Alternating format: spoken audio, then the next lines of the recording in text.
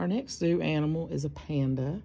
Now, the zoo here in North Carolina does not have a panda, but there are zoos that have pandas. Pandas are from China. That's the only place that they are actually born, uh, other than zoos around the world. And they are what we call an endangered species, which means they're in danger of not existing, dying out, kind of like dinosaurs. So we're going to draw a cute little panda today. So we're going to start with a shape for his head. So near the top of the paper, I want to draw a line like a smile. And then on top of that, I'm going to draw a line upside down like a frown. And it creates a shape kind of like a lemon. Okay, that's going to be his head.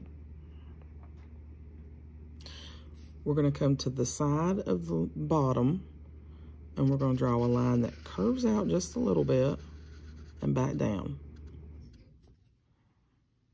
This is going to be the beginning of his body. We're going to come straight across over here and do the same thing. It's going to curve in slightly. And if it doesn't curve exactly the same, it's okay. So at the bottom of those two lines, we're going to draw a straight, short line going in.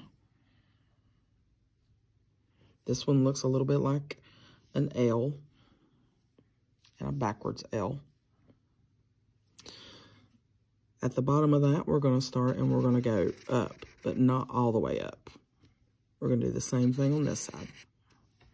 These are going to be his front legs. We're going to draw a little curved line right here for his belly and a curved line down here at the bottom. He needs his back legs. So to do his back legs and make him look like he's sitting down, over here on either side, we're going to draw an O, but it's big and stretched out.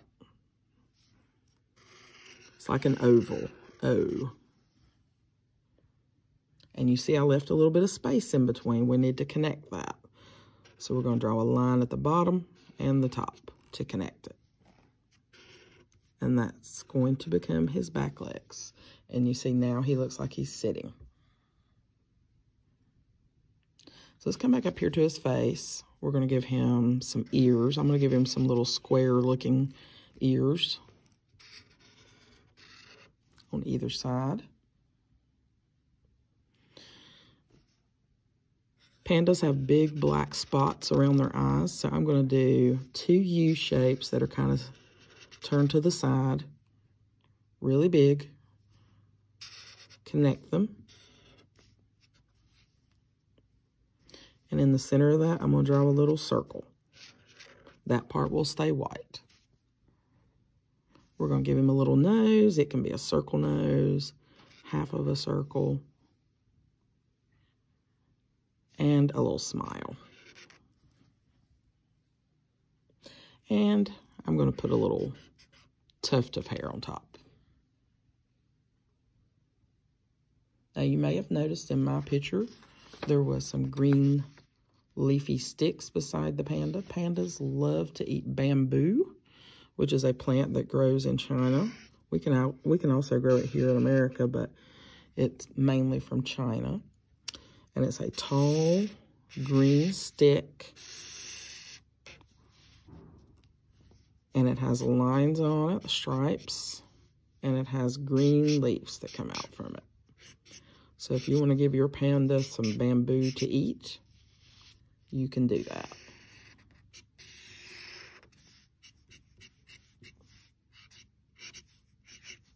He could even be holding a piece if you'd like. And there's our panda.